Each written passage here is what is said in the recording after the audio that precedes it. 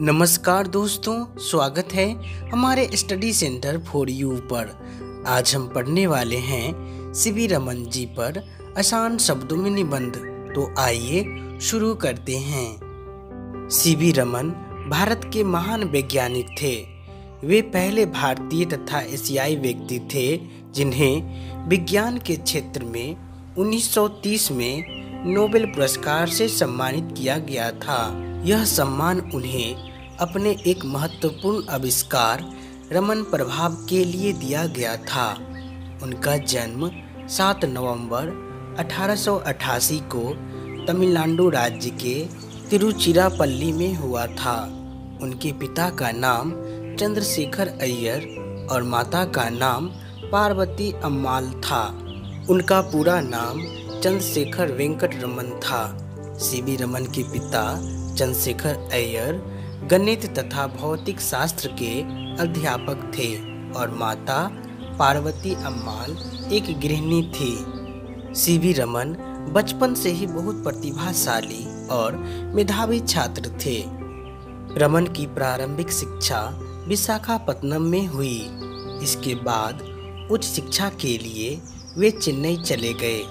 वहाँ उन्होंने presidency college से वर्ष 1904 में स्नातक एवं वर्ष 1907 में भौतिकी में स्नातकोत्तर की डिग्री प्राप्त की। स्नातक में उन्होंने कॉलेज में प्रथम स्थान प्राप्त करते हुए गोल्ड मेडल प्राप्त किया था तथा स्नातकोत्तर प्रथम श्रेणी में अति उच्च अंकों के साथ उत्तीर्ण हुए थे। स्नातकोत्तर की शिक्षा के समय वे प्रयोगशाला में अपने शोध में अधिक व्यस्त रहते थे। उनके सभी शिक्षक उनकी प्रतिभा के बारे में जानते थे। प्रोफेसर जॉन्स ने उन्हें अपने शोध के परिणामों, यानी रिसर्च पेपर्स को फिलोसोफिकल पत्रिका में भेजने का मशवरा दिया था। यह पत्रिका लंदन में प्रकाशित होती है। उनका यह बेहतरीन रिसर्च पेपर सन 1906 में प्रकाशित हुआ था। इसके बाद रमन का दूसरा शोध पत्र विश्वविद्यालय पत्रिका नेचर में प्रकाशित हुआ था। वर्ष 1907 में ही वे भारतीय वित्त विभाग द्वारा आयोजित परीक्षा में प्रथम स्थान प्राप्त कर कलकत्ता में सहायक महालेखापाल के पद पर नियुक्त हुए। उस समय उनकी आयु मात्र 19 वर्ष थी। इतनी कम आयु में इतने उच्च पद पर नियुक्त होने वाले वे पहले भारतीय थे। सरकारी नौकरी के दौरान भी उन्होंने विज्ञान का दामन नहीं छोड़ा।